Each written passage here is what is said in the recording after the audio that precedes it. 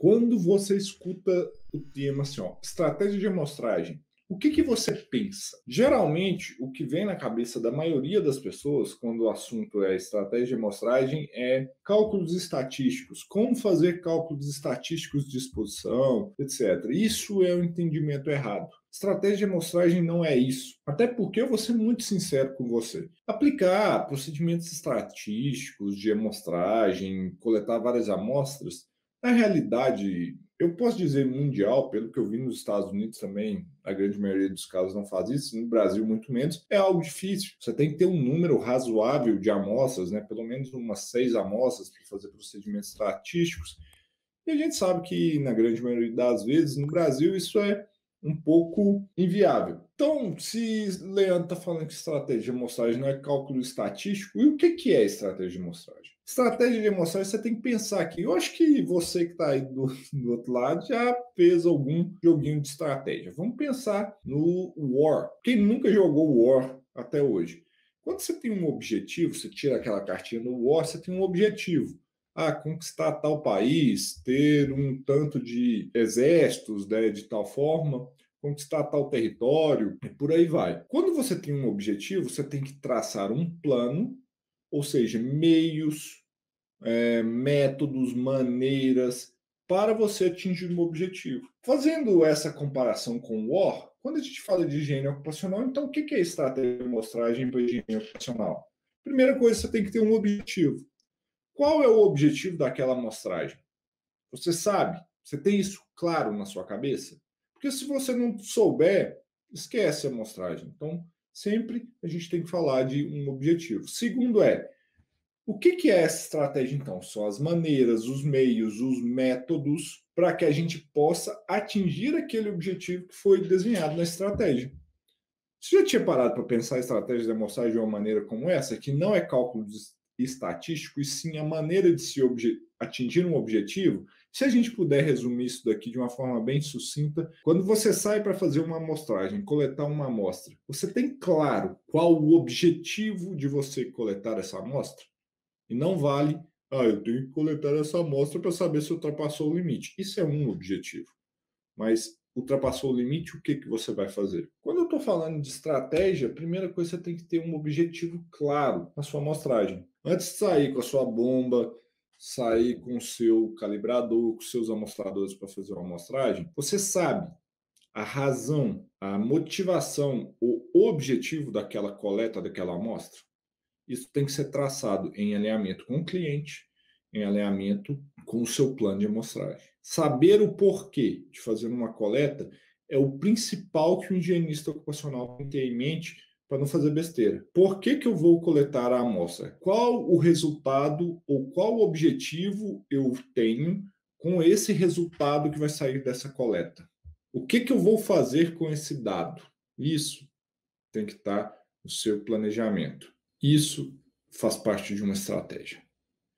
Por quê? Dependendo do objetivo que você tem para coletar uma amostra, você pode a sua coleta pode tomar vários rumos. Você pode fazer uma amostragem com um amostrador para a jornada completa. Você pode fazer várias amostragens em períodos parciais da amostragem. Você pode fazer amostragens por tarefa. Isso tudo faz parte de uma estratégia de amostragem. E tudo tem que estar alinhado ao objetivo daquela coleta, porque aí você vai justificar as suas ações, justificar aquele procedimento que você fez. E é isso que é traçar uma estratégia, é conseguir os meios, utilizar os procedimentos, as metodologias para uma tomada de decisão, para alcançar um objetivo. Então, para para pensar comigo. Quais podem ser alguns objetivos que eu tenho ao coletar uma amostra? Um objetivo pode ser compliance, saber se aquela exposição está acima ou abaixo do limite de exposição ocupacional para atingimento, para, para que possa para saber se você está seguindo uma determinada legislação ou não. Eu quero saber se aquela exposição está acima ou abaixo do limite de exposição ocupacional, porque eu tenho que seguir uma legislação. Isso é um compliance. Segundo objetivo, eu quero entender como ocorrem as exposições ocupacionais desse trabalhador. Quais são os períodos mais críticos? Quais são as tarefas que fazem com que a exposição desse trabalhador ultrapasse o limite de exposição ocupacional. Esse pode ser um objetivo que eu tenho com essa amostragem. Terceiro, eu posso coletar uma amostra para o quê? Para gerenciamento de risco. Eu quero ter informações para embasar, que eu colete uma amostra para que eu possa ter um melhor embasamento daquela exposição ocupacional, para julgar uma exposição. Isso pode ser um outro objetivo. Você tem que estar com isso em mente. Você pode fazer uma coleta para ter uma noção da magnitude daquele risco, para fazer uma análise que a gente chama semi-quantitativa. Isso é muito importante você parar para pensar. E vai aqui algumas dicas. Pare e pense sobre da seguinte forma. Imagine só que você já tem evidências que a disposição do trabalhador está acima do limite de disposição ocupacional. Você já tem dados passados que a exposição daquele trabalhador está acima do limite de disposição ocupacional. Tem dados que geraram essa evidência. Só que nenhuma ação foi feita ainda.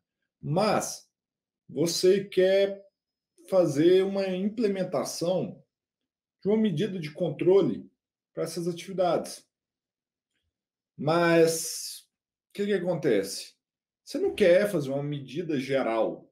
Você quer saber, e na hora que você faz a sua caracterização básica, o seu reconhecimento de riscos, você identifica algumas atividades que podem ser atividades críticas, aonde que pode estar a exposição crítica que leva à exposição mais alta desse trabalhador.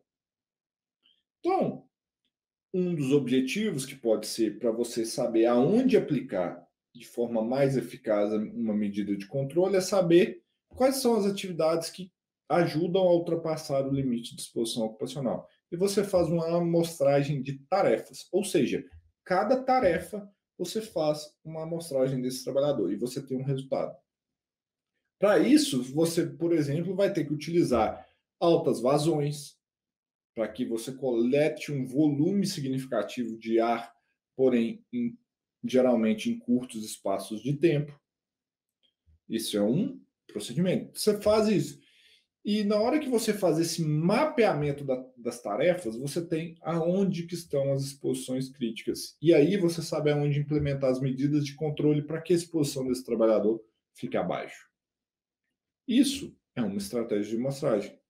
Você faz várias amostragens de tarefas para saber aonde você implementa uma medida de controle. Ah, Leandro, isso sai caro. Sai caro, mas o que é mais caro? Implementar uma medida geral ou medidas locais aonde vai resolver o problema. Aonde dói menos do bolso. É isso que você tem que pensar. Isso faz parte de uma estratégia de amostragem. E eu espero que eu tenha ajudado. Vocês gostaram desse conteúdo, se sim, a única coisa que eu quero pedir para vocês é clica no joinha, clica no, no like aqui para mim, me ajuda nesse distribuir esse conteúdo aí para mais pessoas. Se você gostou, compartilhe isso com mais pessoas que isso aqui pode ajudar mais pessoas que vão ser impactadas com esse conteúdo. Se você não está inscrito no canal do YouTube, se inscreva, criatura. Tem conteúdo toda semana aqui para você, conteúdo massa, para você ir para frente